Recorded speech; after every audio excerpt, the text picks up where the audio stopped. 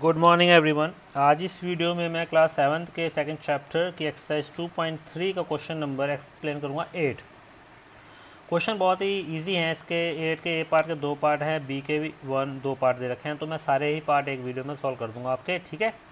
तो पहला क्वेश्चन पढ़ते कह रहे हैं provide the number in the box यहाँ पर एक नंबर आना है, निकालना है such that two upon three into box equal to ten upon thirty तो मैं यहाँ लिख लेता हूँ एक्सरसाइज हमारी कौन सी है? 2.3 एक्सरसाइज है और ये है सेवन्थ क्लास का क्वेश्चन है।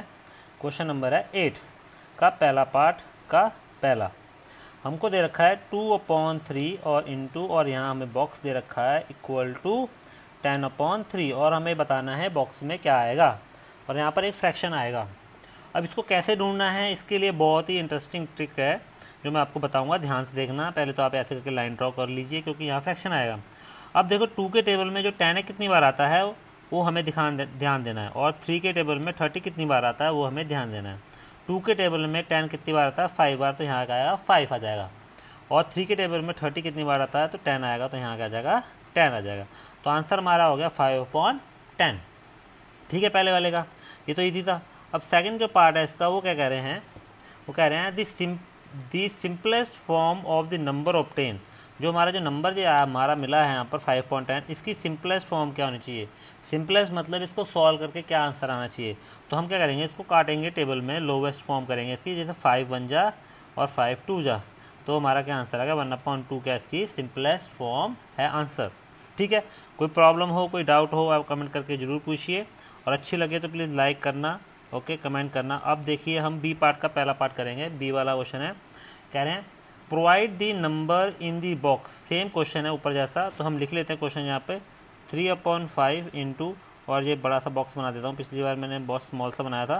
Twenty four upon seventy five अब हमें देखना है कि थ्री के टेबल में ट्वेंटी जो ट्वेंटी फोर है, वो कितनी बार आता है? तो थ्री के टेबल में ट्वेंटी फोर कितनी बार? एट बार आता है। ठीक है? और फाइव के टेबल में सेवेंटी फाइव कितनी बार आएगा? ठीक है? अगर आपको टेबल नहीं याद तो आप फाइव के टेबल से इसको डिवाइड कर दिए, तब भी आपका आंसर आ जाएगा, ठीक है?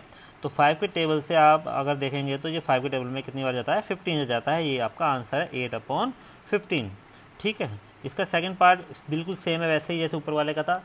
The simplest form of the number of ten in the box, जो बॉक्स में आया है, हमारा एट अपॉन फिफ्टीन आया था। इसकी सिंपलेस्ट फॉर्म हमें लिखनी है, ठीक है?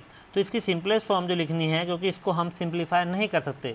इसको हम लोअर फॉर्म में और नहीं कर सकते, क्योंकि ये जो एट है और जो फिफ्टीन है, वो दोनों दोनों एक टेबल में नहीं आते हैं कभी भी। तो हम इसको काट नहीं सकते हैं, इसलिए यही इसका आंसर है सिंपलेस्ट फॉर्म में। ठीक है? तो ये जो था क्वेश्चन मैंने आपको एक्सप्लेन कर दिया है, ये इसका आंसर है यहाँ पर। अगर वीडियो अच्छी लगे प्लीज़ लाइक करें शेयर करें चैनल को सब्सक्राइब करें। ओके और फ्रेंड सर्कल के साथ ज़रूर वीडियो शेयर कीजिए चैनल शेयर कीजिए। जिससे कि आपके फ्रेंड्स का भी बेनिफिट हो सके। बहुत जल्द मिलते हैं नेक्स्ट वीडियो के साथ। तब तक के लिए bye bye see you again take care